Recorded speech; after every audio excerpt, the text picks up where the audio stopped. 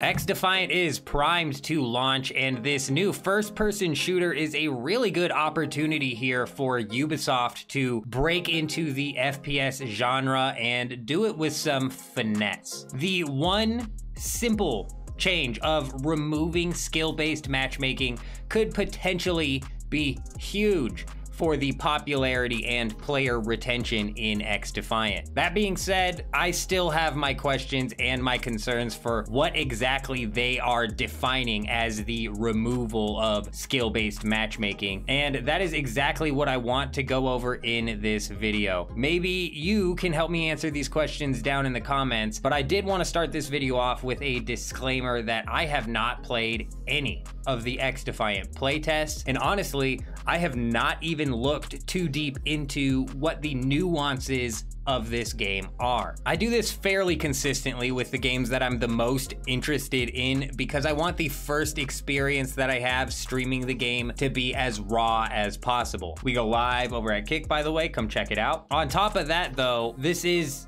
at the end of the day a team-based first-person shooter game, and there is not much more that I need to know other than that. My interest was piqued though when I heard the game will not have skill-based matchmaking, but I'm wondering what exactly they mean by that. If we look at Call of Duty, for example, not only do they have skill-based matchmaking, but SBMM is just part and parcel of the whole retention-based matchmaking system that they have in place. This is the type of system that is designed to feed you just enough dopamine to keep you playing while still choke holding your gameplay performance to keep you losing. You know, one of those, oh, first game of the day, give them an easier lobby than 10 lobbies of diamond full squad sweats followed by another uh, winnable lobby. We'll throw them a bone every now and then just to hopefully keep them playing. And we are not even diving in or talking about how Call of Duty affects accuracy, hit detection, and all of that that tie into this disgusting system because I'm just really trying to use COD as an example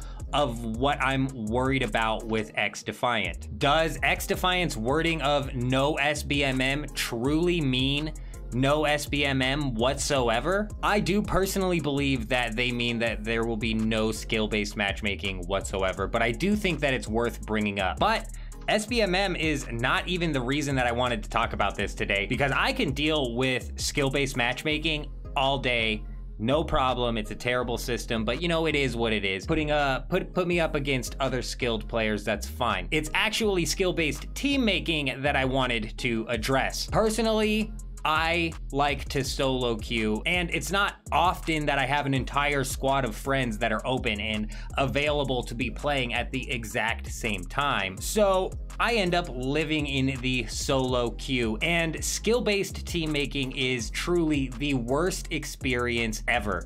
Skill-based matchmaking is absolutely nothing compared to skill-based team making. If you are even remotely good at a game that has this system, you will be purposefully given players who are much worse than you on your team with the intent of balancing your skill with their lack of skill, and this absolutely sucks. Nothing is worse than playing with two thumb Timmys on your team, while at the same time you are put into a match against a mic'd up squad running laps around your team. Have you ever jumped into COD where you were at 20 plus kills while your entire team was under eight kills total and had a negative KD? This right here, that is skill-based team making, and it is disgusting. It is the absolute worst. In my opinion, skill-based matchmaking is not even on par with this disgusting system. I hate skill-based team making, but now that I have that out of my system, I am both incredibly excited